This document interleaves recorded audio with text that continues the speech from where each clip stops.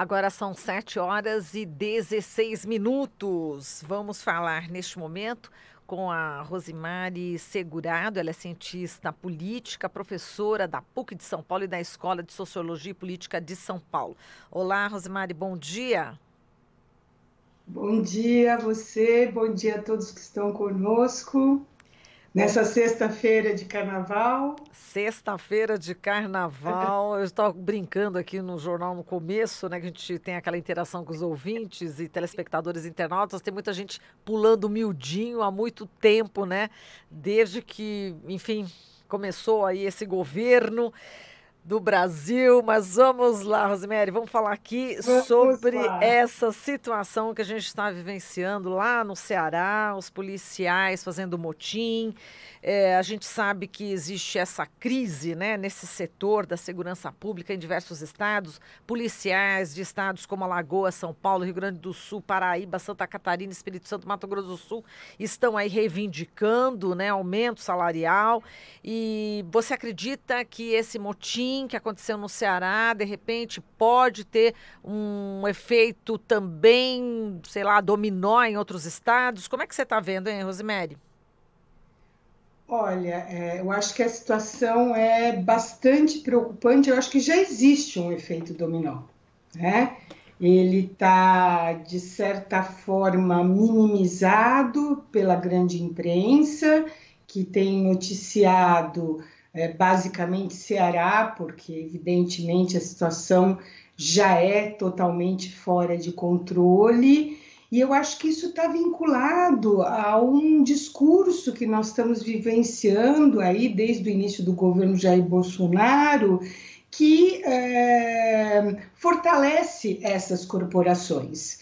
É, e no fundo, no fundo, eu fiquei pensando muito esses dias na declaração tão infeliz do general Augusto Heleno, quando ele fala que o Congresso está nos chantageando, e pensei, falei, não, ministro, quem está nos chantageando são as polícias militares armadas nos seus estados, amotinadas, eles não podem fazer greve. Eu defendo a greve dos trabalhadores, obviamente, mas eles não são trabalhadores como eu, ou como vocês, ou como os que estão nos acompanhando. Eles são trabalhadores armados.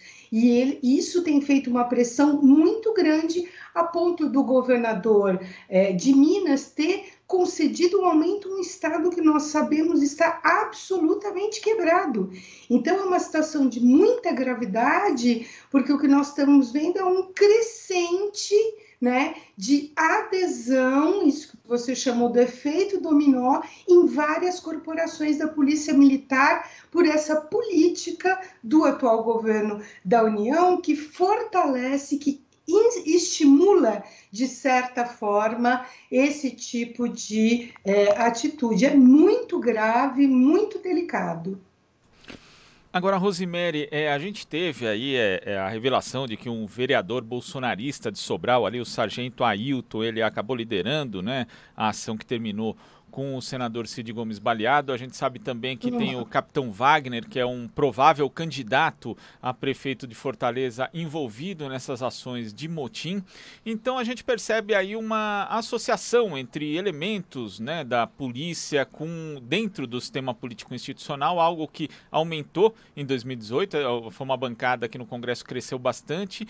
Você, como é que você vê a perspectiva, por exemplo? A gente inclusive já conversou no começo do ano a respeito de como as candidaturas de policiais devem crescer nas eleições municipais. Como é que você vê essa associação entre agentes das forças de segurança entrando na política institucional e causando esse tipo de situação que a gente vê no Ceará hoje?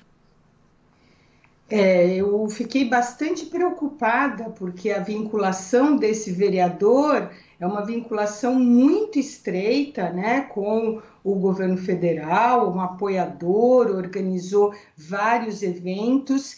E ele, no dia do episódio que teve, é, que se dispararam tiros contra o senador Cid Gomes, ele estava ali e ele, ele chegou a ter uma discussão certo bate-boca. Então, quer dizer assim, ele estava numa linha de frente. Depois ele diz: não, eu não tenho nada a ver com isso, mas tem vários filmes que, inclusive, ele mesmo fez para postar nas redes dele.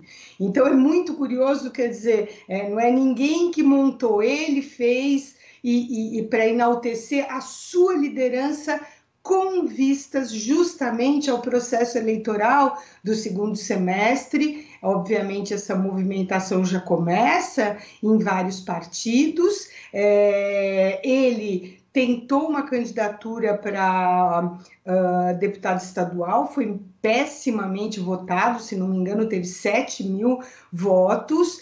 Então, ele agora, como liderança desse movimento, ele pretende se projetar é, e esse é, Wagner, esqueci o nome que você falou agora. Capitão que Wagner. É, Capitão Wagner, que é uh, candidato a prefeito, tem feito uma oposição muito sistemática ao governo do estado. É, e o que, que eles estão fazendo? Eles estão lidando corporações e, e, essas corporações acabam virando escudo para o avanço dessa política. E um escudo por quê? Porque, assim, eles em Sobral, por exemplo, é, estavam dando toque de recolher à população, a comerciantes, intimidando. Então, assim, é, o crescimento não é a presença do crescimento de é, forças de segurança pública como representação no Congresso, que aliás seria um debate muito importante, mas é de policiais com comportamento de milícia. E isso é gravíssimo. Nós estamos vendo agora com esse episódio do assassinato, da queima de arquivo é, do Adriano uh, no, no estado da Bahia como que essas questões estão se dando. Então, é assim, não é, é se a gente pudesse usar uma expressão, a banda é a banda podre da polícia, tem muito policial que é honesto, que é trabalhador. Agora, esses setores são os setores que coordenam articulação com tráfico, é, são os setores que, no Rio de Janeiro, por exemplo, ditam toque de recolher, hoje em dia impedem as pessoas de irem vir tem, estão ligados à, à, à distribuição de água, distribuição de gás, colocam os preços que querem. Ou seja, é um setor extremamente perigoso que, infelizmente, cresceu muito na eleição de 2018 e uma possibilidade, depende desse momento do governo que não está numa situação muito boa, digamos assim, mas eu acho que de alguma maneira esses setores tendem a crescer em representação, e isso é muito perigoso. Nós estamos colocando milicianos para governar é, municípios, estados, para legislar, e é bem preocupante essa situação. Exato. E professora, você acha também é, que pode ser aproveitado todo, todo esse vídeo, né, que está sendo o, colocado nas redes sociais por esses candidatos policiais, né, que pretendem se candidatar aí nessas eleições agora deste ano? Esses vídeos também podem ser utilizados, inclusive, para atingir né, o Partido dos Trabalhadores no Ceará, já que o governador é do PT, o Camilo Santana, né? A ideia também é desestabilizá-lo, né?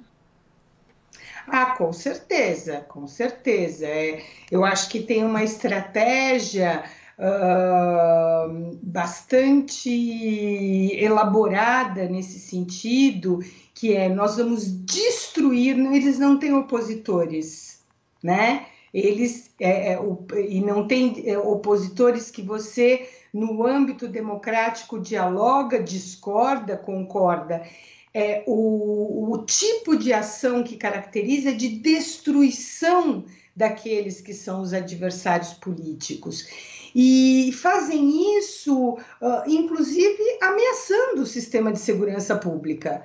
Então, o meu inimigo pode ser o governador, e aí eu destruo tudo aquilo que esteja para frente, seja população, sejam instituições, e é muito grave. Então, realmente, é, o que nós estamos vendo é como, é como se eles estivessem, de alguma forma, encurralando ou tentando encurralar o governador porque eles estão com as armas na mão e porque eles estão lidando uma corporação que tem né, é, uma penetração muito grande na sociedade. Eu não sei no Ceará, mas existem muitas estatísticas que colocam que a cada família você tem pelo menos um policial ou um amigo ou um vizinho. Então eles têm uma capilaridade e estão usando isso para fazer isso sim, chantagem política. Aliás, acho que o general Heleno devia olhar e entender o que é chantagem política e não jogo político, que é o que o Congresso faz, é o que os poderes faz, negociando o tempo todo, coisa que os militares têm muita dificuldade muita dificuldade por uma estrutura muito hierárquica, muito autoritária. Então, no geral, eles tendem a querer impor a sua vontade a todos aqueles que tiverem é, por perto. É bem delicado. Eu tenho, eu e muitos analistas políticos temos visto que esta semana é, nós estamos dobrando né? Nós estamos avançando e chegando quase no ou se já não estivermos num sinal vermelho para a nossa democracia e acho que temos que é, defendê-la a todo custo.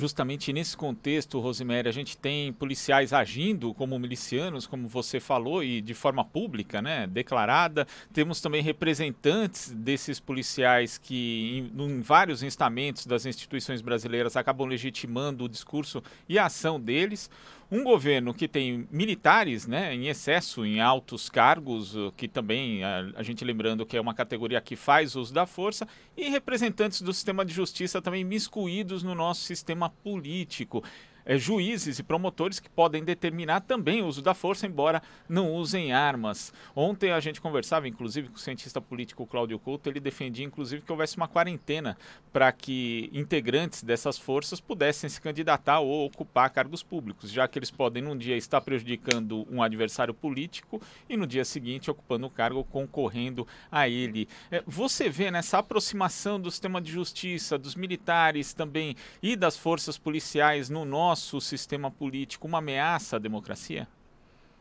Com certeza, uma ameaça, porque, na verdade, é, o que me parece que eles não entram, por isso que eu falei importante, eles não estão entrando para a política ou tomando a política de assalto, por assim dizer, é, por, com um projeto, com uma proposta, com um debate de segurança pública que isso sim faria muita falta, mas ao contrário, eles estão entrando na política para aumentar a sua área de influência, para aumentar a sua proteção, porque nós sabemos quando você tem um mandato, você tem é, é uma, uma, proteção é, legal e e para continuarem né, organizando as suas milícias é, e fazendo com que os adversários políticos sejam inimigos a serem eliminados. Esse tem sido né, o comportamento que nós estamos observando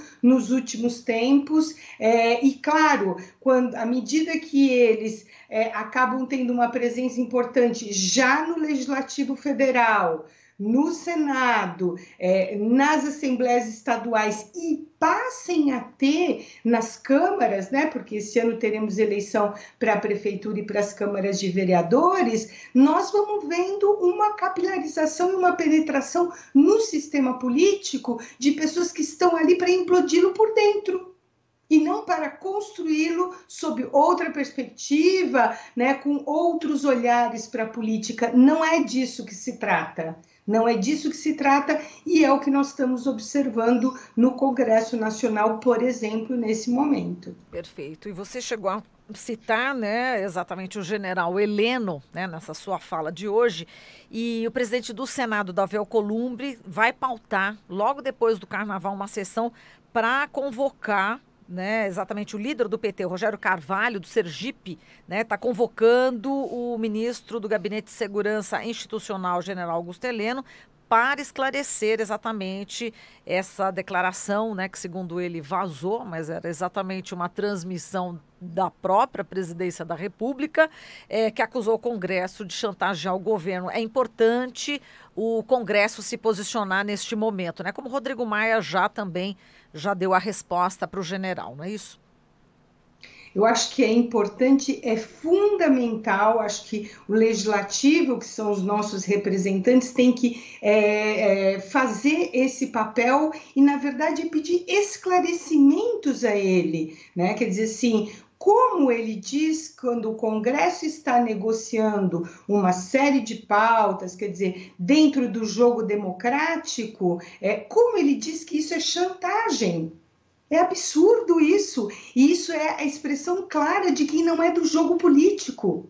Né? Isso é a expressão clara de quem está acostumado à relação de mando e obediência. E o Congresso não pode né, se é, furtar de, é, dessa oportunidade de chamar e dizer assim: não, ministro, nós somos políticos, estamos aqui debatendo, está dentro do jogo democrático. Então, é, é, eu espero, eu vi que o, o presidente do Senado, o Columbre, já o convocou, se não me engano, dia 2 ou dia 3. É, e é uma convocação, ou seja, ele tem que ir e eu espero que ele vá e não diga como eles têm feito muitas vezes, não, eu não disse nada disso, eu fui mal interpretado e tal. Tá lá, o áudio é claro, a voz é dele, e acho que é, uma coisa muito importante que você disse, não é um vazamento, é uma divulgação, e eles, eles têm uma a gente poderia dizer a famosa faca de dois gumes, né? Porque eles fazem isso, divulgam esse tipo de vídeo para manter a sua tropa, aqueles 14% de bolsonaristas que são extremamente fiéis, o, o, presidente e seus ministros podem fazer qualquer desmando e eles estarão junto com ele. Eles fazem isso para manter, né? Isso é uma estratégia militar é, só que, como nós estamos num ambiente de redes, né, evidentemente, não só os seus apoiadores têm acesso a essas imagens, mas né, é, todos nós tivemos. Então, é, eu acho, espero que é, o Senado, inclusive os senadores presentes nessa audiência, sejam muito firmes cobrem esclarecimentos, porque essa é uma declaração inadmissível num governo democrático, numa sociedade democrática. Exato. Agora eles ficam falando, né? É, se querem parlamentarismo, mudem a Constituição. Olha, eles estão colocando essa questão do parlamentarismo direto, né, Glauco? Né? Justamente isso, né? Como se fosse algo em é. pauta, como se o presidente Bolsonaro não lidasse, na verdade, é. com o parlamento, não tivesse que lidar como lidaram Dilma Rousseff, como Sim. lidou o ex-presidente Lula, Fernando Henrique Cardoso, Itamar, ou seja, como se houvesse uma perseguição, mas é um pouco aquilo que o presidente Bolsonaro quer criar, né? Um clima de perseguição, ele precisa do embate e do confronto o tempo todo, uhum. não é, uhum. Rosemary? Ele ficou colocando parlamentarismo aí como desculpa, né, Rosemary? É, é, não, eu acho que é isso mesmo, isso que você está dizendo. É, é precisa é, o tempo todo é, criar um ambiente, olha, estão me atacando, estão atacando a presidência da República, então todos aqueles devem nos defender e tal. É, é uma estratégia muito clara, uh, só que ela pode ter um fôlego, acho que até está durando demais para o meu gosto, mas enfim, é, eu acho que ela também pode começar a não surtir efeito. E aí, talvez, entre uma das questões perigosas e que nós temos que estar atento. É, a cada momento, o recrudescimento dos ataques que o governo faz à democracia, e vimos recentemente a nossa a jornalista da Folha de São Paulo, Patrícia Campos Melo, né, um ataque como profissional e como mulher, né? É, a cada um, uma das intensificações desse ataque, eles vão queimando cartas também, uhum. e hoje em dia já temos uma série de setores que mesmo que de alguma maneira, maneira não o apoiassem fortemente, tinham aquele discurso, ah, eu quero muito que o governo dê certo, ai, nós estamos precisando e tal. Só que começam a ver que é muito difícil dar certo com esse tipo de prática tão autoritária, com esse tipo de prática tão desrespeitosa à imprensa, né, é, à liberdade de expressão, uh, e isso é muito perigoso. Então, eu acho que é, quando você fala é a estratégia dele, mas talvez seja uma estratégia que possa começar a não obter o mesmo êxito, a economia não está apresentando os resultados, eu já imaginava isso, não está apresentando os resultados necessários, então os humores começam a podem começar a se modificar. Muito bem, Rosemary. A gente fala com você em outra oportunidade. Muito obrigada pela entrevista de hoje e, se possível, bom carnaval com tudo isso. Obrigada, igualmente. Bom carnaval a você e a todos que nos acompanham. Obrigada. Falamos aqui com a Rosemary Segurado, cientista política, professora da PUC e também da Escola de Sociologia e Política de São Paulo.